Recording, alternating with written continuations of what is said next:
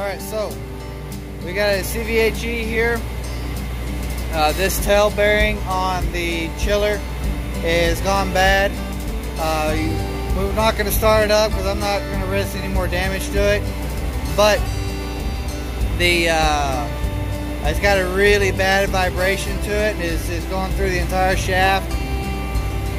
This chiller motor was redone a little, little over a year ago. And um, the other, the, the we got brought in right after they finished that job. The customer just wasn't happy with the service they were getting. So they bring us in to take over for them as soon as they completed the project. Uh, they redid the motor, did an overhaul on the compressor. Anyway, um, so it's ran for a year now and hadn't really had any issues. And then a few weeks ago, um, the bearing started to become audible. Uh, they didn't call us because we were getting ready to come out and do an inspection, so it ran like that for just a short amount of time. And uh, by the time we got here, uh, they just the, the bearings were, were gone.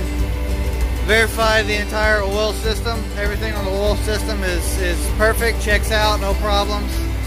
Uh, oil pressure was doing good, maintained about 22 psi on the differential. Our, our tank was really good. We were, um, uh, see, two two inches lower than our evap, which is great.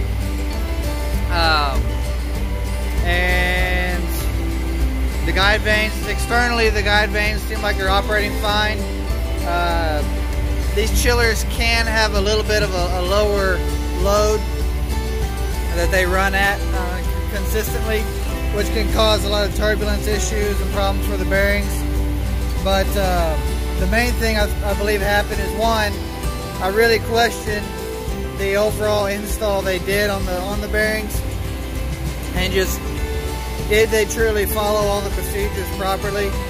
And then two, there's a problem with the uh, the CVH series. Uh, tail bearing, or bearings period, but specifically the tail bearing is where it shows itself, where the there's a uh, there's a retrofit grounding kit or brush kit you're supposed to install on these bearings because there's a lot of uh, e, uh, there's a lot of EM pulse getting sent through even on a constant speed uh, motors that's uh, tearing up the bearings and is, is uh, causing a lot of problems and premature failures, and they, have been consistently having an issue with it.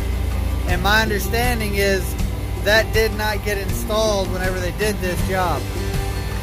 So, that being the case, again, it, it helps significantly explain why they failed. You know, we're going to need to get that installed this go around for us.